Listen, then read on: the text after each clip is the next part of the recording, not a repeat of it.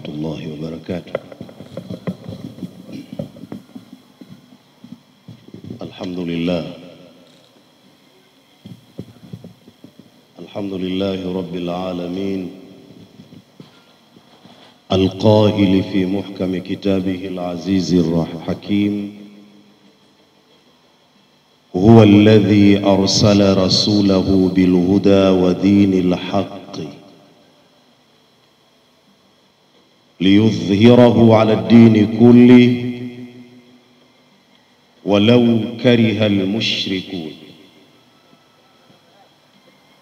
صلى الله عليه وعلى آله وصحبه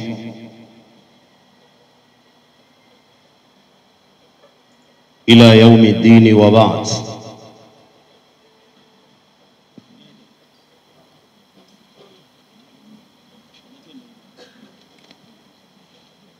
Heshima ama nidhamu, utulivu ama vurugu inategemea ni kwenye jambo gani na ni nani mwenye jambo lake. Mara nyingi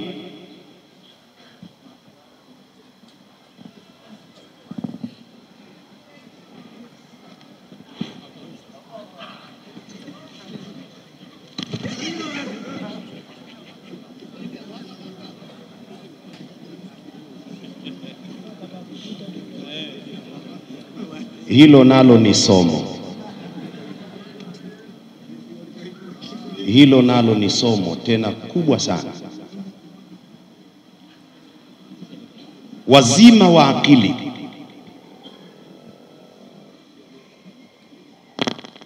wenye akili kubwa si wale wenye akili za kati wala duni. Macho yao na maumbile yao huwa yanasoma mazingira. walabibu takfihi lishara, mwenye akili supa, ishara na mazingira humtosha kujua akae vipi, awe vipi.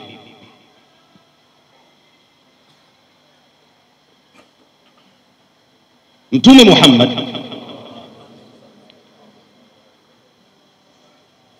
ukikagua japo kwa ufupi katika aya ya tisa ya surati Saf itakutosha kila panapotajwa hili ni la Mtume Muhammad, itakutosha kuwa na adabu na nidhamu. Kuna mahala utaleta uchare na kuna mahala hutoleta uchare. Huwa alladhi arsala rasulahu bilhuda wa dini lhaq liyudhhirahu ala dini kulli. Patoshe yeye Allah subhanahu wa ta'ala.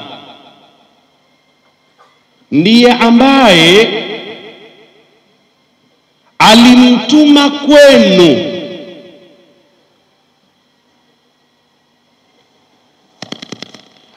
alimtuma hapo duniani. Rasulahu.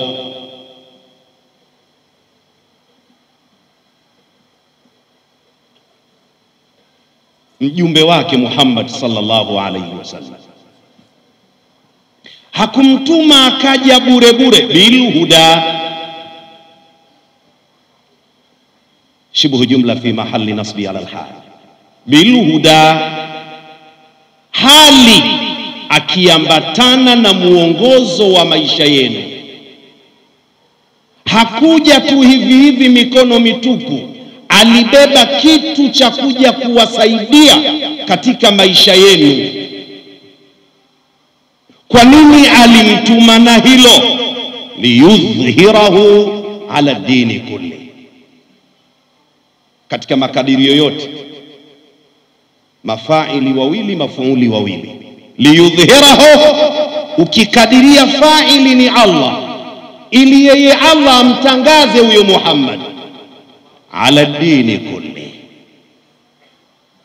Ikiwa tutakadiria faili ni Allah, basi hapo hiyo ala din dini itakuwa ni majururu lafdha ni mudhafun ilaihi hukman ala dini kulli ay ala ahli dini kulli, kwa wana dini wote, kila anayejiona na dini yake, basi mtume kaletwa atangazwe humo. Ikiwa ni faili ni Allah, Allah kamleta mtume amtangaze, watu wamjue, wakishamjua wampende, wakishampenda wamfuate. Huwezi kumfuata usiyempenda na huwezi kumpenda usiyemjua. Kwa hiyo Allah alitaka amtangaze, tumjue. Tukishamjua tutampenda, na tukimpenda tutamfuata Mtume Muhammad. Sura ya pili, liyudhhirahu ala dini kulli. Faili sasa anakuwa ni Muhammad na mafuulu sasa unakuwa ni Uislamu, ili huyo anayemtuma lengo hiyo dini ya Uislamu akaitangaze. Na ikiwa sura ndiyo hiyo, kwa tafsiri hii ala itakuwa imekaa nafasi ya dharfu kwa maana ya baina. Alhurufu tatanawabu kama tatanawabu maa dhurufi liyudhhirahu ala dini kulli ay liyudhhirahu baina aladyani kulli.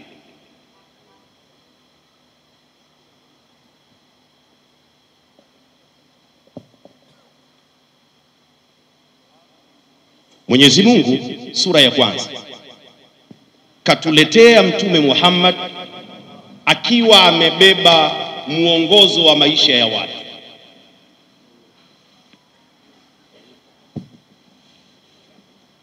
ili amtangaze, tumjue, tumpende na hatimaye tumfuate. Sura ya pili, Mwenyezi Mungu Subhanahu wa Ta'ala amemleta kwetu Mtume Muhammad sallallahu wasallam hali akiwa na mwongozo kamili wa maisha ya watu, kazi aliyopewa kuja kuitangaza dini hiyo kati ya dini zote. Nukta ya kwanza mtu aliyekuwa katika sura hiyo Mwenyezi Mungu Subhanahu wa Ta'ala kakusudia amtangaze dunia imjue. Mwenyezi Mungu Subhanahu wa Ta'ala kakusudia kumtuma na kumkabidhi jambo lake la mwisho. Wamepita mitume wengi huko mwisho, sasa yeye anafunga lile daira la mitume, yeye anakuja kutangaza kutangaza Uislamu na kitabu kilichobeba sheria zote, kwani twajua kwa mujibu wa Qur'ani dini ni moja, tofauti ni sheria. Wote mitume waliokuja walikuja wakafundisha dini moja, walitofautiana katika sheria tu. Hakuna mtume aliyekuja na dini kinyume na Uislamu. Kila mtume aliyekuja alikuja kufundisha Uislamu.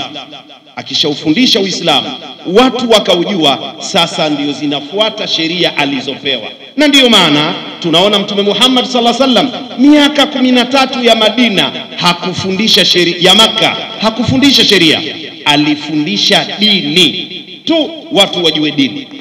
Alipohamia Madina, sasa ndipo palipofuata sheria. Mtu kama huyu ukishaambiwa jambo hili la kwake kuna haja ya kuonesha nidhamu ya aina yake. Kuna haja ya kuonesha heshima ya aina yake. Qur'ani amesoma awali Ustadh Muhammad Harun akiwataja waliomwamini wakamshika kikweli Mtume Muhammad sallallahu alaihi wasallam. Moja katika kazi walizokuwa wamezifanya kwa mtu huyo ni kuonesha heshima kwake. Sisi tujiulize kwanza, tuna heshima na Mtume Muhammad sallallahu alaihi wasallam? Tuna nidhamu ya kweli? Lazima tuwe wa kweli. mimi pamoja na ninyi, hadhara ya Mtume Muhammad sallallahu alaihi wasallam, mimi pamoja na ninyi.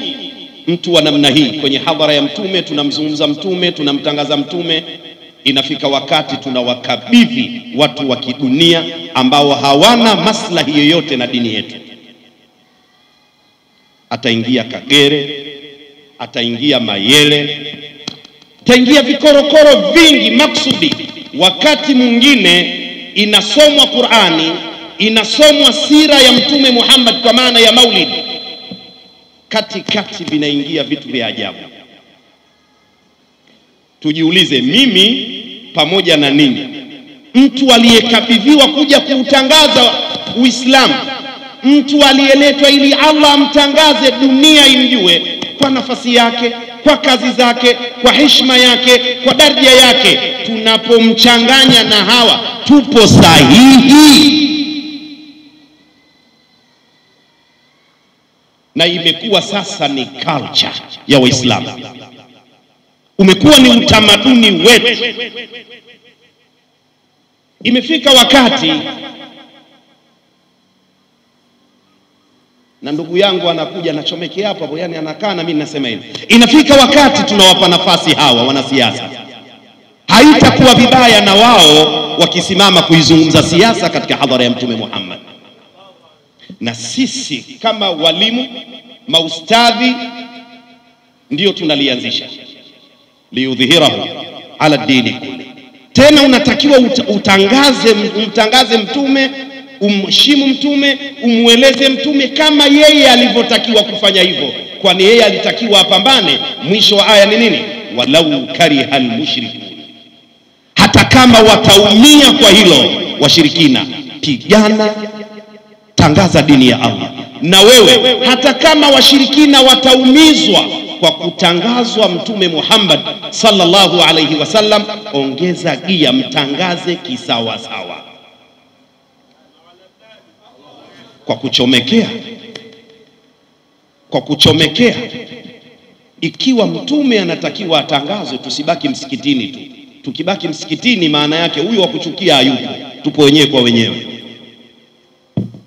Kiongeza hiyo wala ukariha almushrikun tafsiri yake tutoke mpaka nje huko, ndipo atakapotuona. anachukiaje asiyeona asiyesikia. Na wewe upo msikitini, aya hii wakati inazungumzwa, vipaza sauti hakuna. Usije ukasema si vipaza sauti vipo. Mtume alitumia kipaza sauti gani? cha Huja, Philips, Panasonic, nini? Safirisha akili yako ndugu yangu katika imani. Angalia umma huu ulivyokuja, angalia umma huu ulivyojaa, angalia umma huu ulivyojipamba kwa ajili ya Mtume Muhammad. Unahitaji raha za akili, unahitaji raha za masikio, unahitaji raha za macho, unahitaji umma huu raha za moyo. Hatimaye tunakwenda kuuchezea umma kama huu. ni Niwaombe katika imani Niwaombe ndugu zangu katika imani, watu wa sheria wana maneno yao, wanasema arrujuu ila alhaqi fadila, kurudi nyuma ukasimama katika mstari ulio wa sawasawa, kama ulijiona ulipo sipo, ndio uungwana na ndiyo kitu bora. Tujirekebishe, tumwachie Mtume Muhammad sallallahu alaihi wasallam hadhara zake, kama kweli hadhara hizi ni za Mtume Muhammad sallallahu alaihi wasallam. Mwisho mwisho, Mwenyezi Mungu alimtaka mtume kuja kuutangaza Uislamu, liyudhhirahu ala dini kulli. Mtume kafanya kazi ndani ya miaka ishirini na tatu. Wafuasi wake ni mimi na wewe. Maana yake tunatakiwa turithi kazi aliyopewa Mtume Muhammad ya kumtangaza kwa namna yoyote. Hivi basi, na waombeni katika imani, tena kwa mara ya mwisho nikae, tusichanganye dini na njaa.